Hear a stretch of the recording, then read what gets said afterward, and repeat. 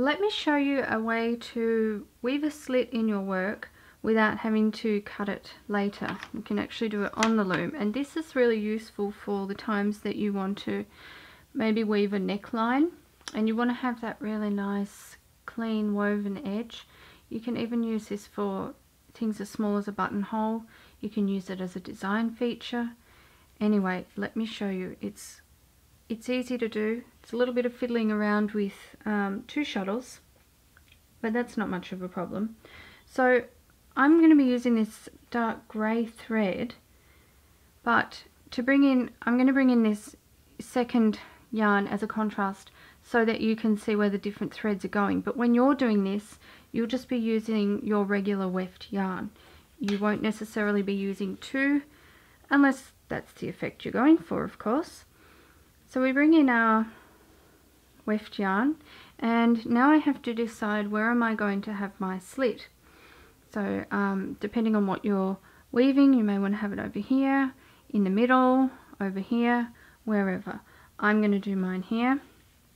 So I'm just going to come out of the shed and sit on top of it for a minute with that shuttle. Okay, so we can weave that one and beat it as you can see we've only gone halfway. Now while we're in the same shed I can bring in my second shuttle and I can take it through.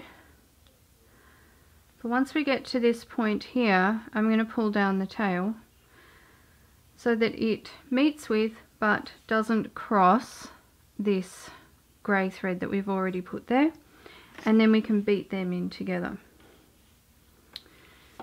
Okay, so my next shed is the up shed. And starting on the left I'm going to bring my yellow through. And I'm looking at which thread which warp thread that yellow is sitting against. It's here.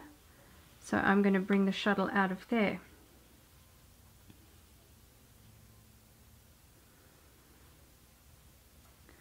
Now I'll put the yellow down for a moment don't want to cross these over or get them twisted up. And I'm going to take my grey through.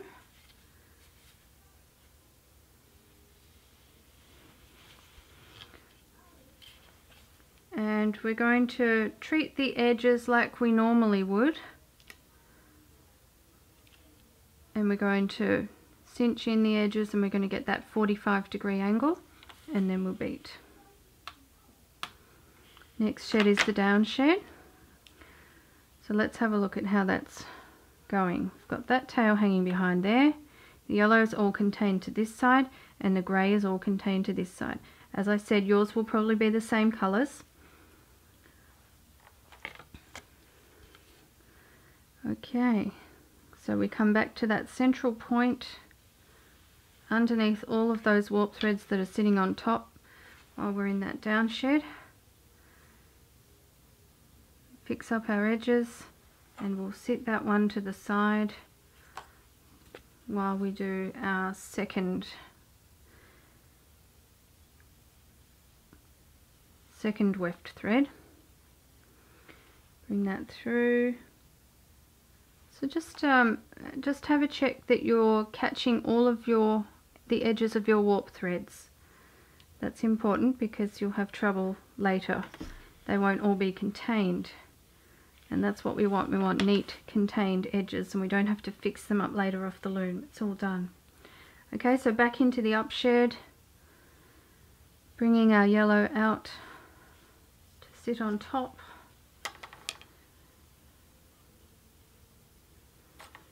Okay, so we'll put that over that side so we don't have to worry about it getting in the way. Then we've got our second shuttle coming through. So it's just a bit of back and forth, making sure that all of those edges are contained. Not too tricky.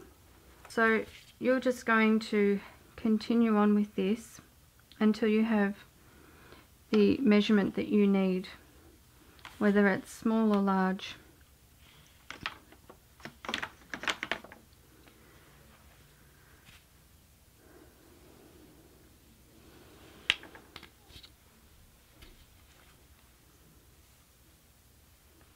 Set that aside.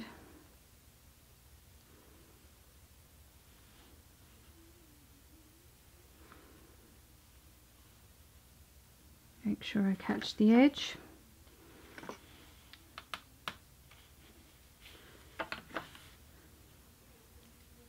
And there we have it.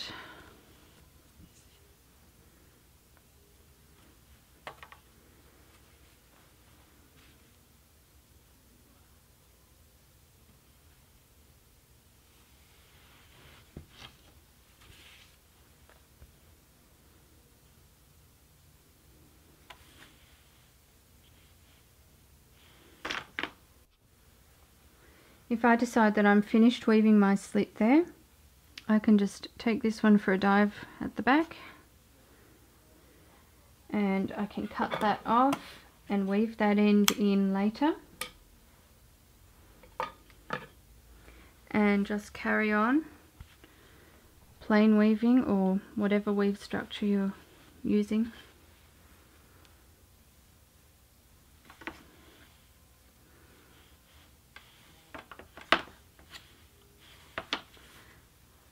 And just keep on like so.